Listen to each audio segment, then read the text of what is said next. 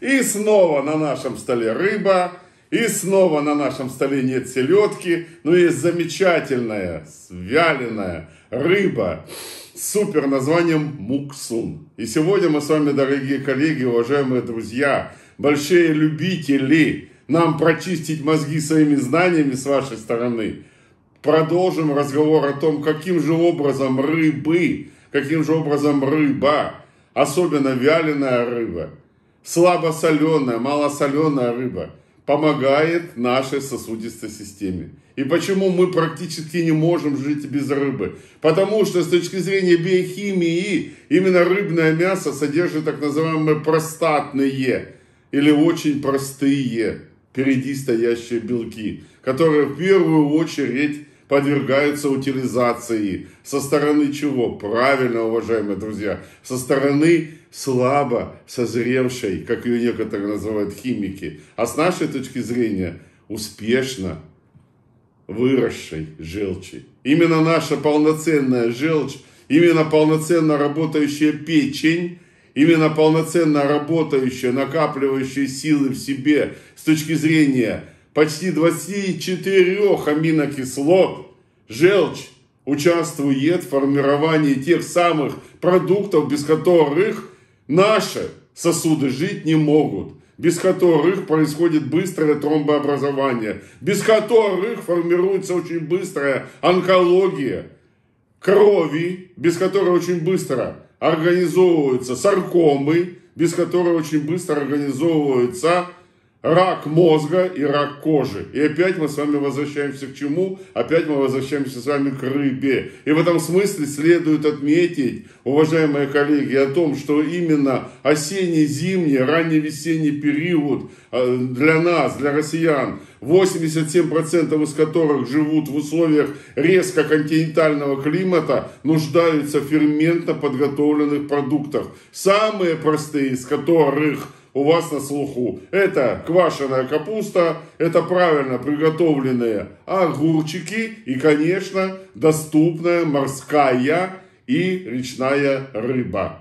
В этом смысле, почему вяленая и сушеная рыба, потому что как раз таки в своей системе потом кулинарной подготовки. Вот эти все продукты очень хорошо помогают нашему организму не тратить свою энергию на перевоплощение. Почему в данном контексте мы с вами говорим о рыбных продуктах? Почему мы с вами в данном контексте говорим о доступности? Потому что это не просто, э, не просто, многие сейчас опять будут плеваться в наш адрес, купить, достать, глисты, червяки и так далее, и так далее, и так далее. Мы сейчас не об этом, а в том плане, что мы тратим в достаточной степени меньше энергии нашей гастрономической, нашей функционально-физиологической на перевоплощение белковых в данном контексте продуктов. Я не говорю о квашеной капусте.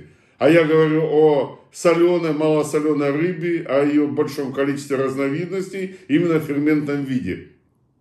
Давайте вернемся к опыту наших северных народов, начиная от наших малонациональных, меньшинств северных и заканчивая Лапландией, заканчивая Норвегией в этом плане, заканчивая Швецией. Почему там с большим удовольствием и с большой любовью относятся даже на наш взгляд людям, которые привыкли ко всем условно гастрономическим мерзопакостям, не переносить такой вид продукции, как, швейца, как шведская селедка. Ели вы когда-нибудь шведскую селедку? Вы знаете, что шведскую селедку невозможно в самолете вести, не дай бог, она откроется и все, самолет рухнет, разгерметизируется.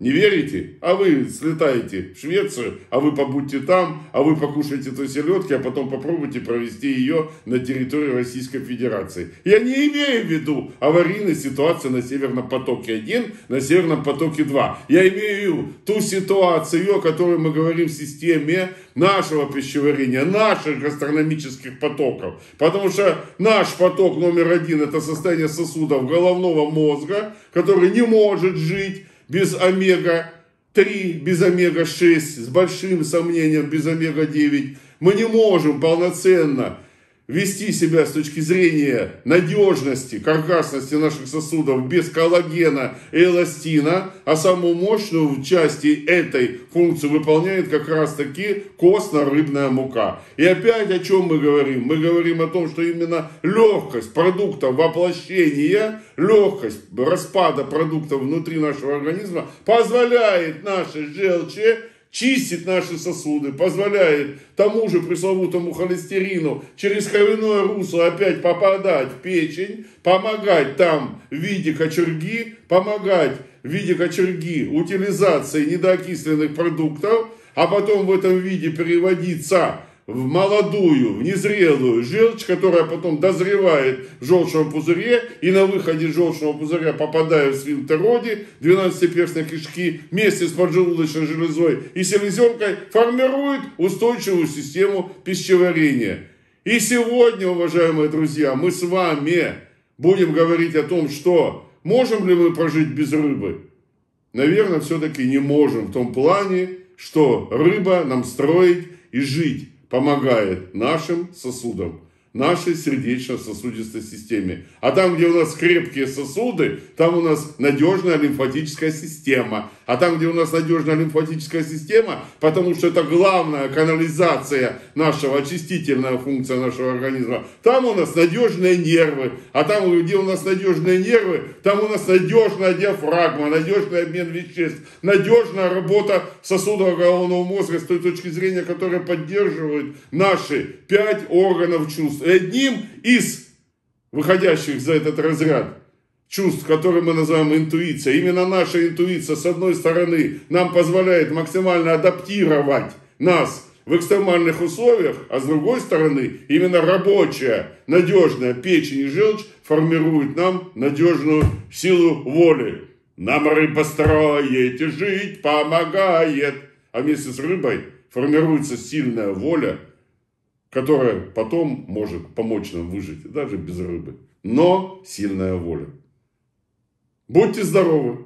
Ссылка на наш вебинар найдете сразу под этим видео. Милости просим. Сегодня на вебинаре мы с вами протестируем состояние желчи в вашем организме. Объясним, на что это влияет, какие обменные процессы формирует и поддерживает. Выполним с вами комплекс упражнений для поддержания функции полноценной работы вашей желчи. И расскажем, конечно, о системе, которая позволяет восстановить вашу желчелогику. Обязательно приходите. Ссылка на вебинар сразу под этим видео. Будьте здоровы и добро пожаловать.